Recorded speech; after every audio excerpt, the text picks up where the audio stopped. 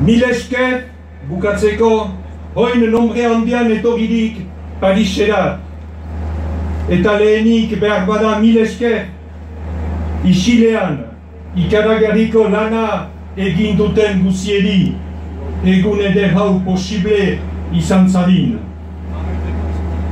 Bakea eskualegian ahantzarazi dugu egun, bai, mundu bat, bai gira hemen bildua, transversalitateaz eta anistasunaz josia. Batzen gaituenak osatua baita gure arteko ezberdintasunaz. Eta behar bada bereizi izan ahal gaituenaz ere.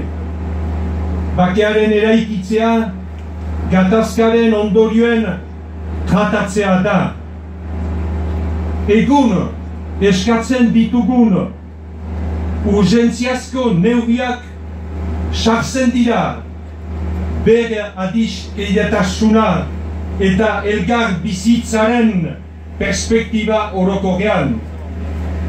Zointan, preso eta ieslari guziak itzuliko diren Euskal jendartearen erdirat. Zointan, biktima guzien errekonozimendua izanen den. Egia eta erreparazioaren exigentziarekin. Egiazko bakea guziak irabazle diren bakea da. Iragana begiratzea eta etorkizuna eraikitzea permetitzen duen bakea. Bakea gu bakoitzaren eskuetan da, edo zoin izan gaitezen. Bakoitzak elikatu behar du. Bakoitzak urratxa egin behar du. Bakoitzaren urratxak permetituko du bestearen urratxa. Eta hola eginen dugu bidea. Konbikzio hori dugu.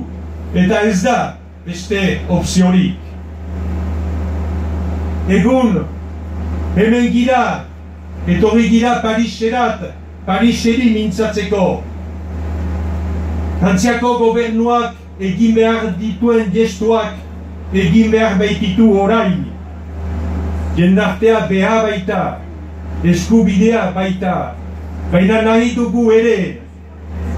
Hemen giren euskal herritar guziek, nahi dugu ere Madrile mugidadin, eta Espainiako gobernuak ere urratxa egin dezan, sar dadin bidean.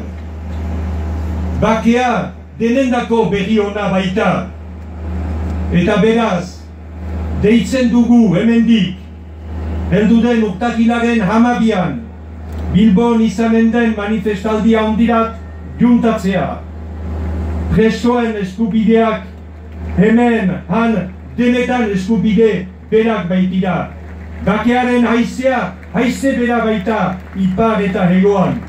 Mil esker guzieri.